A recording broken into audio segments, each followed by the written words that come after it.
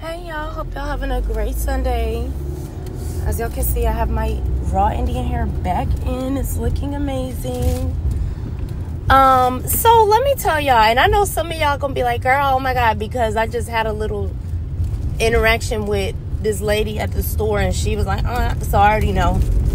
So I'm gonna just tell y'all when I was in high school, I always said one of my dreams or one of my goals was to open a salon. And on it would be like um one of the doors would be a salon, but then the, the store right next to it would be my beauty supply. And it would be a salon and a beauty supply. And um I'm like really y'all notice I bring up the beauty supply thing from time to time because it's it's an important issue. The beauty supply issue is a political issue, and it's unfortunate that like my generation. Once upon a time, you know, the beauty supply, the beauty supply issue is a political issue.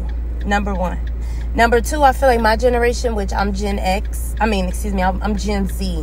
So you have Gen X, millennials, Gen Z and now Generation Alpha, I think like I feel like all of us for the most part, maybe Gen X, my mom's generation, like they know, but I feel like the rest of us don't know. But you can go to YouTube and do your due diligence and you can actually take the time to learn how the beauty supply industry was monopolized by Koreans. And there was actual law and policy created to keep black people from owning the products that we consume or you know actually being able to open the stores and things like that. Even to this day like anybody who has tried to open a beauty supply um, that is a, a black american or black even africans can tell you firsthand how hard it is right? So an example is when a black beauty supply is open able to open and you go and you notice the prices are a little higher and you because you just got to save your two dollars so bad you go back to the koreans. That was done on purpose. That's how they monopolize the beauty supply industry. So, me personally, three years ago, I decided I was no longer going to go because I was tired of going in and nobody speaking. I'm tired of going in there and you don't hire black people, or if you do hire a black person, you know what I notice now is they'll try to make it seem familiar by hiring uh like Latinos but then they'll they won't hire black people or the black people got like they can't be cashiers and stuff like these are things i noticed so i intentionally go out of my way not to support korean businesses period especially when it pertains to the beauty supply industry. And i don't feel no shame in saying it. I know when it comes to the west coast people get squirmy around those topics. Also when i was younger i used to work in um, some beauty supply stores that were korean owned. And um, I remember like this was when my hair business like I was just really getting started. I probably was doing hair for like 3 years and um I had started making wigs. And I remember um like the lady I worked for, she did not want me or black hairstylists like getting customers out the beauty supply. She was like, "No, I'm to put a salon, I'm to put a thing back here so like it's crazy so y'all can make money off us but we can't make money off of what you've created off of us so me personally i don't do it i don't like the disrespect you know nowadays i feel like they they're a little bit more you know they act better like they putting black lives matter signs in the windows so they'll get looted and stuff but i don't care. It's still the same right?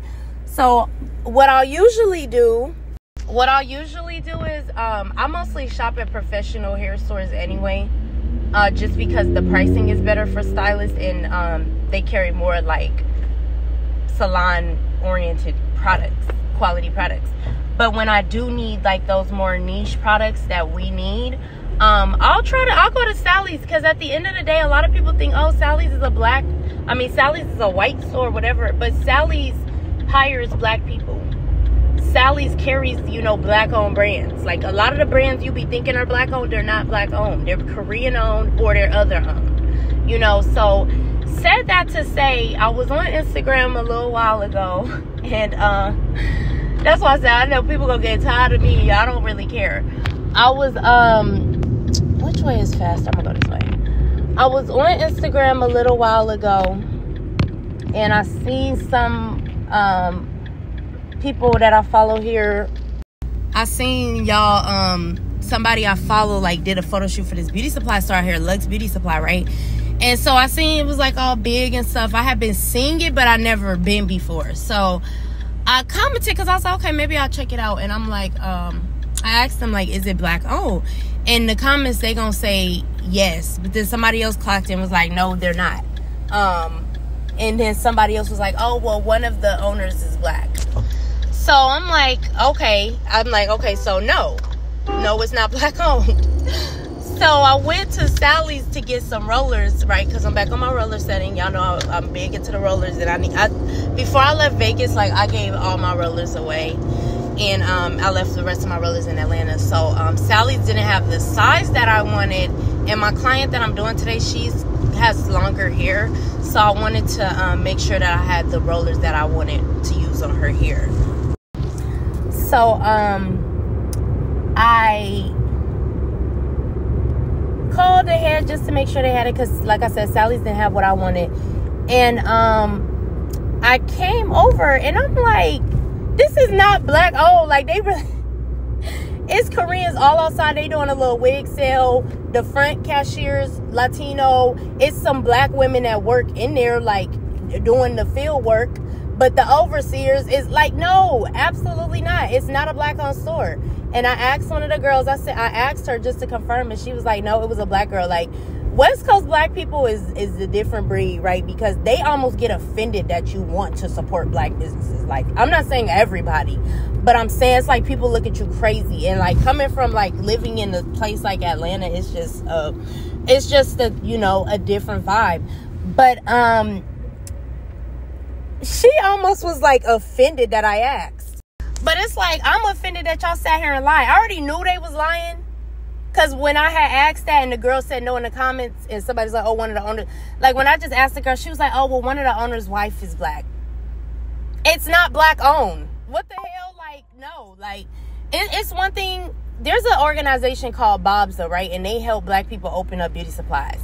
But like it's one thing if you have a you you work with a Korean to help you like, you know, as the front so they can get the products for you and that's the way they partner with you but it's still a korean owned beauty supply it's still not the same and it's like it's ridiculous to me how I can't say it's ridiculous because I used to be confused about this too. Like I didn't think it mattered, but the more I learned about history and like policy and economics, like absolutely not. Where do you see? Are you ever gonna see a black taco stand and Hispanics coming to buy tacos from black people. That would make no sense. Like, people complain all the time about not being able to find work or discrimination. Y'all just seen. And black people get amnesia so quick. Like, they'll throw some discounts and you're going to be right back at the store buying it. Black women in particular are very weak when it comes to being able to hold out on not buying hair and stuff like that. It's like, it amazes me. It's like crack or something we just seen on TikTok the girl was going off about the I never heard of this brand, but apparently it's popular. This brand all the girls be using, and, and she was working at the corporate office. They hired the one black girl, and the Koreans was owning it or Jewish or something. They was racist. You know, it's like where was I? I forgot what I was gonna say. Um, damn, I forgot what I was saying. Hold on, let me regather my thoughts all right like you complain about being having racist encounters at work you know all this different stuff people won't hire you. But then the things that we consume and we spend hella money on that we we should be monopolizing for ourselves every other culture anything that they have unique to them i'm to go back to tacos because everybody love tacos and other people try to do it but at the end of the day most people's going to go to taco creators to get their tacos Black people, the only people you will see who will give away, like even with this white girl braiding on Instagram, and y'all want to pay her seven hundred dollars, even though she don't wash hair, but let a black hairstylist don't wash hair, y'all gonna drag the black hairstylist for filth. Like I can't do it. At the end of the day, I brought this up to say, like I am going to fulfill my childhood dream of opening a beauty supply. Mine is going to be different though. I don't need to carry them hair products. I'm going to have all black owned brands, period and whatever else I'll manufacture and create it myself. Like, and it amazes me because, like, when you say stuff like this, like the girl in the store, the black lady, you know, it's almost like she was looking at me like I was racist for asking that. That's not how racism works, boo.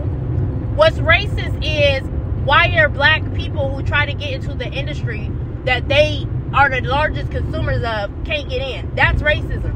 People be trying to pull the reverse racism card. Like I used to do that too. I didn't know. I didn't understand. That's why I'm like, I need to maybe go on my YouTube and the research that I've done and how I've been able to like compile this information to gain understanding. Maybe I need to put it out there so our generation understands. Like it's not like no, absolutely not. Black people have to do better. Black women especially, the biggest consumers and the most influential black American women, y'all need to do better. You need to be better stewards of your dollars. If you go to a black owned business, the customer service ain't right, tell them. If you don't get it together, I ain't coming back. Make them do better. Black people will give non black people a bazillion chances to mistreat you, be rude, anti blackness, all of that. But as soon as a black person does, oh, she was my stylist was late. She hit me with the hey boo. Tell her. And if she don't get it right, it's a bazillion other black hairstyles. Like that's what gets me. It's a bazillion black people that could braid. But it's one white girl who come on Instagram and learn how to braid. Y'all worship her like she's Jesus. Like it's pathetic. Like we ain't seen black girls know how to braid before. You complain when a black girl want to raise her prices, but oh, let me play the white girl seven hundred dollars. Like y'all look goofy. Period. And if you offended, please unfollow because I don't want people like that on my page. That's insane to me. I got to get this together. Like, and if somebody want to partner with me, y'all been thinking about it too. We could do it. We could all, you know what I'm saying? But something has to be done. Something has to be done because it's not right. As a PSA, if you're somebody who is a conscious consumer and that's something you value, Lux Beauty Supply in Vegas is not black owned. Okay? Having a black wife does not equal black owned. It's not a black owned beauty supply. If that's something you care about, there are black beauty supplies online. And regardless, because some things I sometimes see people say, oh, well, the products came from China. It's still a black person that's a